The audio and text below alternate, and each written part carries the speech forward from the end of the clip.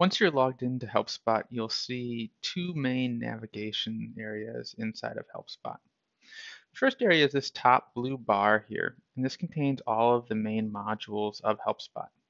Depending on your rights level that your account has inside of your instance, you may see or not see some of these modules. For example, the admin area is only available to admins, and uh, some staff may not have the reports area, and so on and so forth. The primary area we're going to work with customers inside of HelpSpot is the workspace. And the workspace is this main area that I'm in right now that allows me to interact with requests and, and see what requests are open and uh, work with my customers. We also have a knowledge base. So this is where uh, you would be able to look at knowledge base articles as well as edit and add new knowledge base articles and organize them into books and chapters.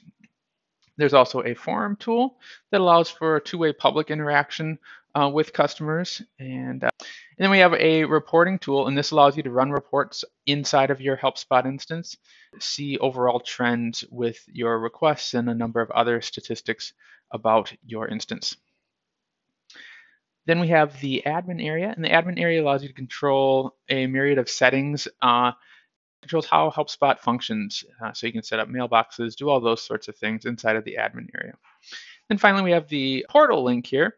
And the portal link will take you out to the customer facing portal. So if you want to see what your customers will see when they are interacting with HelpSpot, you can go ahead and just click on this link right here. Now I, in this case, just have a single portal, but depending on your instance, you might have more than one portal here. And if so, you will get a list of all of those portals there and you can choose which one you want to go ahead and take a look at. Finally, we have a link to the getting started area that just allows you to walk through a number of steps to get your HelpSpot instance set up. Along the left-hand side here, we have the main navigation for the workspace itself. And you'll see that we have the inbox as well as our queue, and then a number of filters and other items here listed. We'll go into more detail on this in a subsequent video.